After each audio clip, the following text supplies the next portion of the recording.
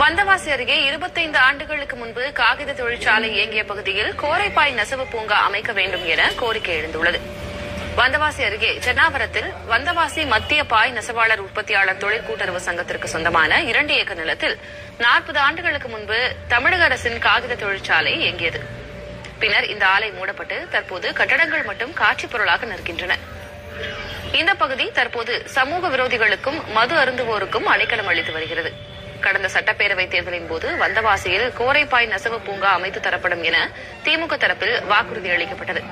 அதன்படி இந்த பகுதியை சீரமைத்து கோரைப்பாய் நெசவு பூங்காவும் அடுக்குமாடி குடியிருப்பும் அமைத்து தர வேண்டும் என்று தமிழக அரசுக்கு கோரைப்பாய் நெசவாளர்கள் கோரிக்கை விடுத்துள்ளனர்.